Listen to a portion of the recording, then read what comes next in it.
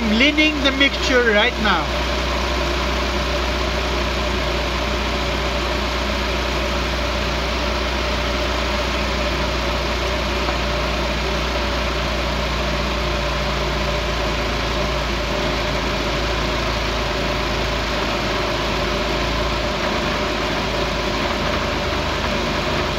This is a lean mixture. I went too far on the adjustment and the RPM dropped to 800. So what I'm gonna do is back out uh, half a turn.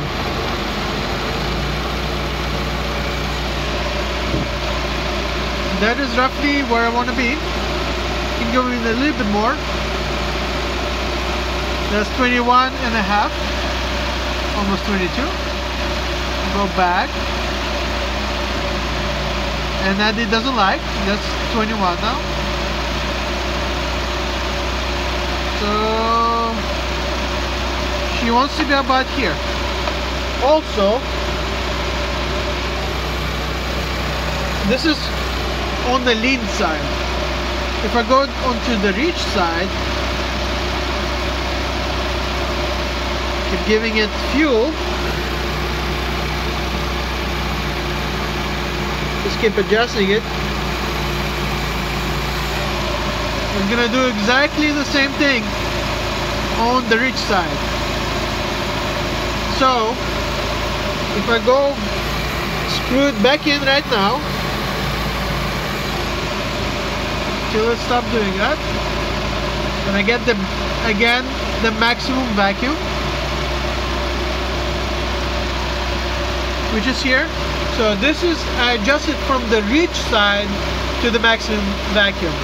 I prefer to be on the lean side on the typically it's the lean side. So you don't go reach and go back. You go lean and then you reach it up a little bit. This ensures that you don't foul your spark plug too much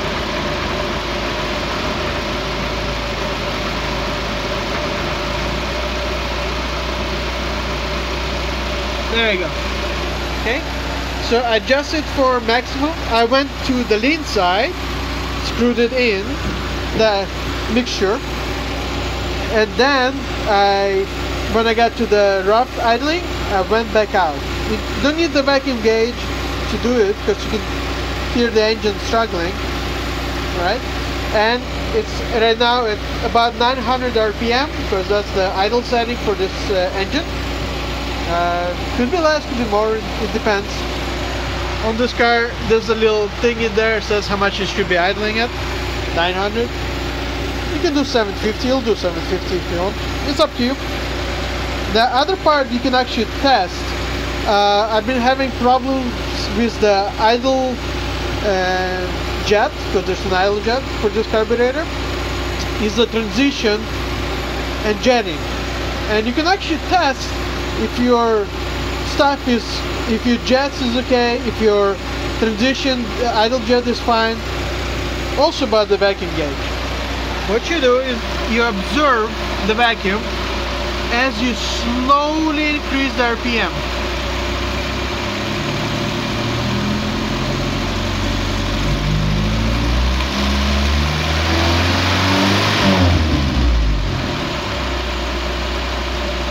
You can see, it went to 20 inches, which is still not correct, but it's better than before. It, because of the emulsion tube I put in here, it needed a little extra adjustment. And I finally figured it out. So that's 1500 RPM, and I get 21. That's 2000.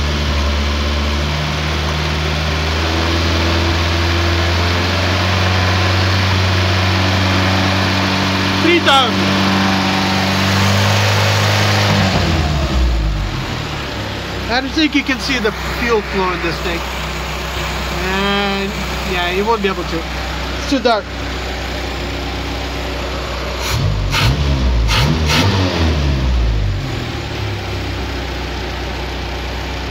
So at the end of the day, it needed 65 it even probably needs a 70 idle jet. Let me kill it for now so I can explain in detail.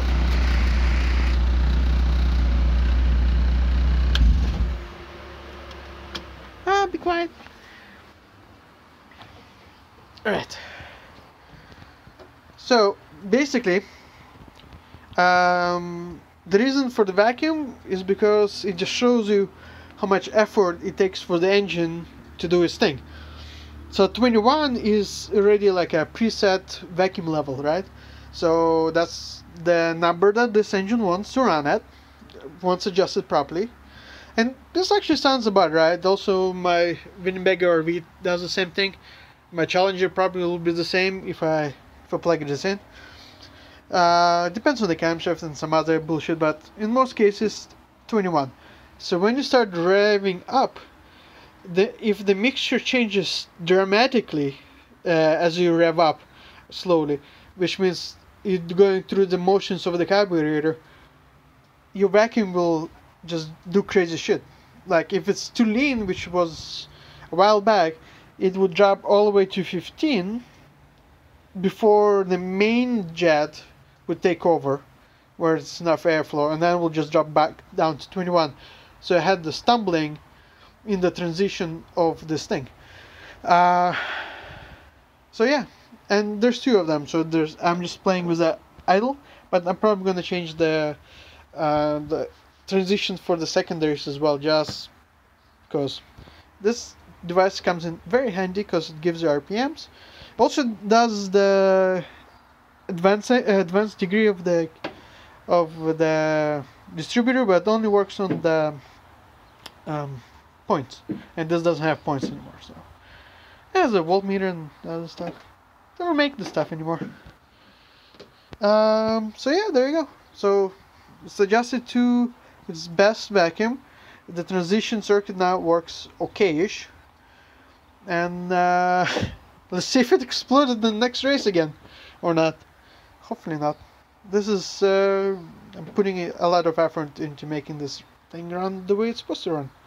So there you go. Um,